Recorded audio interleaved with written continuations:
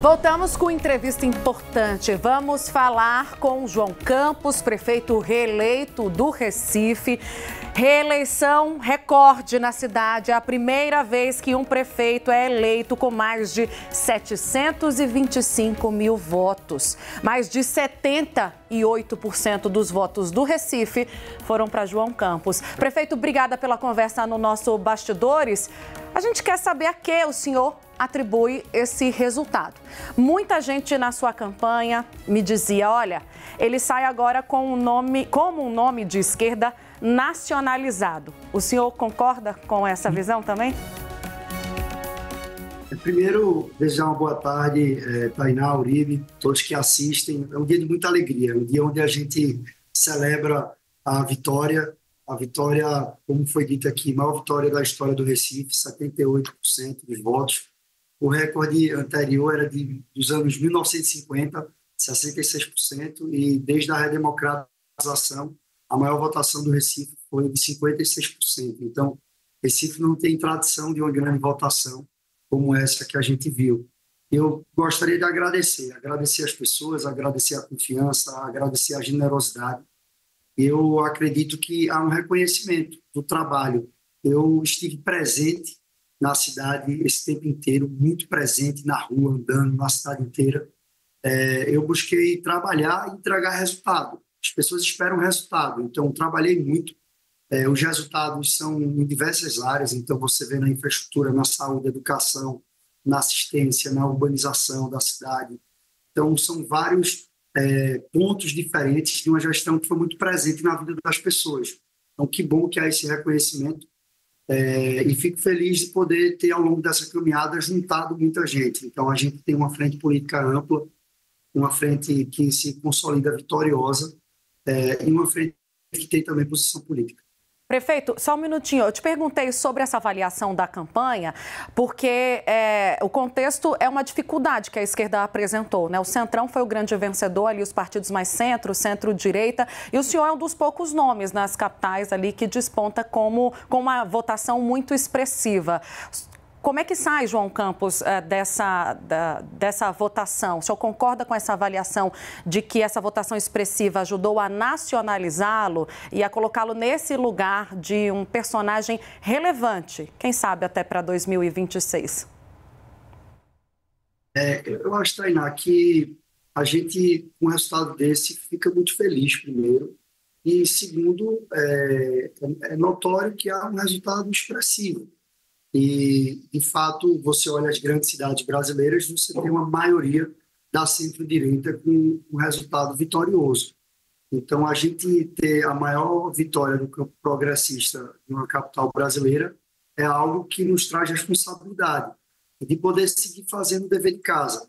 Eu, eu disse ontem, ao final do resultado, que as pessoas esperam cada vez mais que a gente tenha a capacidade de entregar resultado, melhorar a vida delas, de poder ter ação concreta.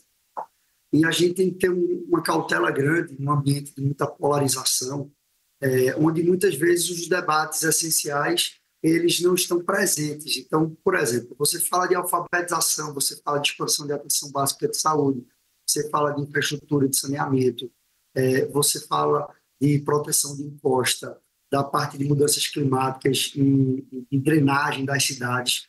Nenhum desses temas está presente no ambiente da polarização. Mas o que muda a vida das pessoas na rotina de uma cidade é isso. Então, o cuidado que a gente tem que ter é compreender e, em candidaturas majoritárias, principalmente, a gente não pode ter um ambiente é, como de disputa segmentada para o parlamento, que é o que acontece muitas vezes em bancadas temáticas, em bancadas mais posicionadas nos extremos é, ideológicos. E, e, é fundamental que a centro-esquerda tenha essa compreensão né, da necessidade, lógico, de fazer uma avaliação. O nosso partido, em especial, cresceu em 20% o número de prefeituras. A gente é o primeiro partido do campo progressista em número de prefeituras do Brasil. É, aqui no nosso estado, o, o meu partido teve 1 milhão e 400 mil votos, é, o segundo colocado teve 600 mil votos, então a gente foi o partido mais votado do Estado. É, e a gente tem um, uma responsabilidade com isso. É, e eu espero que seja feita uma leitura das urnas. Né? Então, o fato é que as pessoas se expressam através do voto e é preciso compreender a dinâmica disso, principalmente nas regiões metropolitanas Brasil afora. Prefeito, qual é o foco do senhor nesse segundo mandato e mais? Como o senhor viu o desempenho da sua correligionária Tabata Amaral? Ela sai dessa campanha municipal em São Paulo como uma figura nacional da esquerda? É, o nosso foco nesse segundo mandato vai ser, primeiro, não ter nenhuma descontinuidade, né? É continuar um ritmo acelerado que a gente sempre empregou, com muita presença, com capacidade de, de fazer gestão é, com política, né? Então, a gente teve uma participação política muito forte aqui. Nós fizemos 40% dos vereadores da nossa cidade hoje são do meu partido, do PSB, é a maior bancada da história. Fizemos também a ampla maioria da, da Câmara de Vereadores. Então, isso mostra uma correlação de construção política. Não foi só é, João que teve uma grande vitória. A nossa frente teve uma vitória enorme. É, nós temos aliados nas maiores cidades do estado hoje. Nós fomos vitoriosos, aliados nossos. Então, nosso trabalho vai ser continuar fazendo gestão, fazendo política e tendo um governo que não é um governo de uma única obra. Né? Então, acho que a grande marca nossa é ser um governo que Batemos recorde de investimento em infraestrutura e proteção de impostos na periferia da cidade, construção de parque, em ampliação da rede de creche, é, em expansão da atenção básica, construção de hospital. Então, quando você vê um volume muito grande de coisas, é isso que representa o tamanho da eleição também que a gente teve. Em relação a São Paulo, eu queria parabenizar a Tabata. Eu acho que Tabata foi uma grande candidata.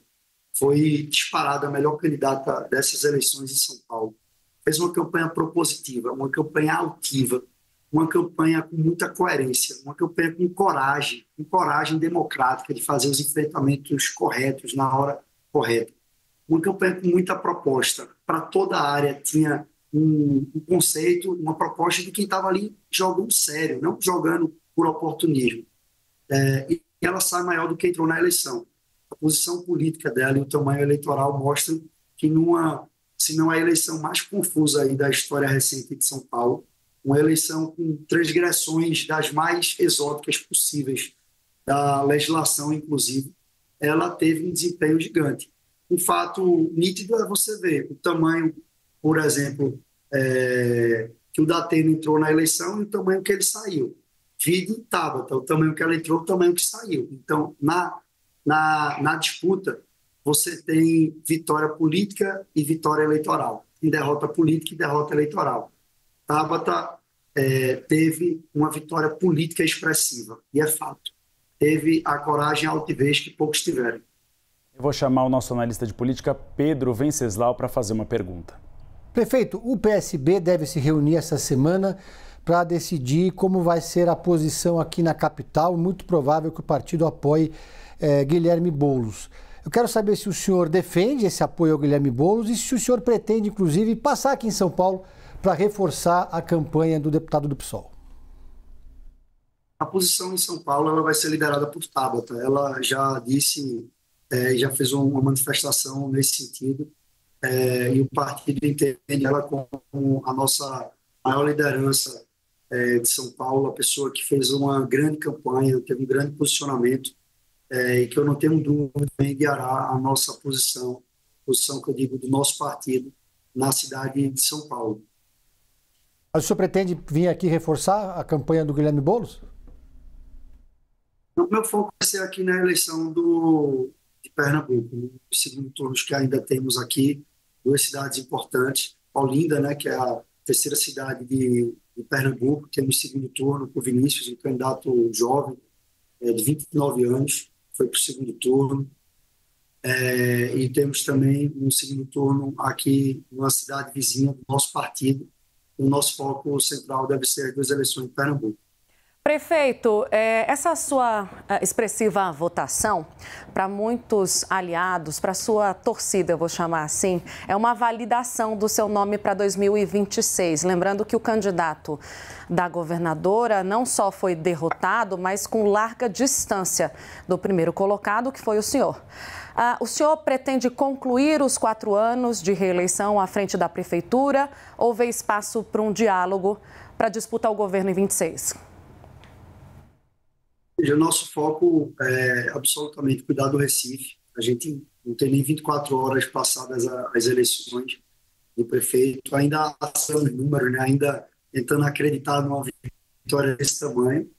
É, muita gratidão e muita responsabilidade. Acho que uma vitória desse tamanho também traz uma responsabilidade grande. Então, essa responsabilidade ela tem que ser materializada através do trabalho. É, e é assim que a gente vai poder, poder fazer. É, aqui a gente também sabe que, que há um, uma vitória importante do nosso conjunto no, no Estado. Então, agradecer ao nosso partido, a gente tem hoje o maior número de prefeitos eleitos, isso é algo é, talvez inédito na, na história recente de, de Pernambuco, são do, do nosso partido. Um, um, conjunto de aliados também, um resultado, um resultado expressivo. É, e, e o nosso foco é poder, primeiro, agradecer as pessoas do Recife, agradecer essa construção que foi dada no ambiente do, do Estado, dentro dessas cidades que fazem parte do nosso conjunto de forças. E a minha parte é dedicar e cuidar do Recife, no tempo certo, poder fazer as avaliações que assim, que assim cabem. Eu acho que a gente tem que ter muita clareza, eu sempre agi de forma muito transparente aqui com as pessoas, as pessoas sabem é, da nossa posição e, sobretudo, reconhecem tudo ao seu tempo. Nós entrevistamos o prefeito de Recife, João Campos, que teve uma vitória expressiva. Parabéns pela vitória, prefeito, e muito obrigado por essa entrevista aqui no Bastidores CNN. Obrigada, prefeito. Obrigado. Obrigado, Uri, Tainá, Pedro. É, e dizer que há quatro anos eu fui eleito aos 27 anos o prefeito mais jovem da história do Recife. Tive 29% dos votos é, no, no primeiro turno chegar hoje com a maior votação da nossa história é, é um sentimento de gratidão e de responsabilidade. Então, vou me dedicar, vou fazer o dever de casa, cuidar do Recife. Hoje já estou inaugurando obra, já estou vistoriando obra da prefeitura para seguir nesse ritmo. Obrigado e parabéns pela cobertura da imprensa e mandar sempre meu respeito à, à, imprensa e o trabalho essencial que ela tem na vida democrática. Obrigado. E se, se, o senhor nevar de novo no carnaval do ano que vem, espaço aberto aqui no Bastidores CNN. Obrigado, prefeito.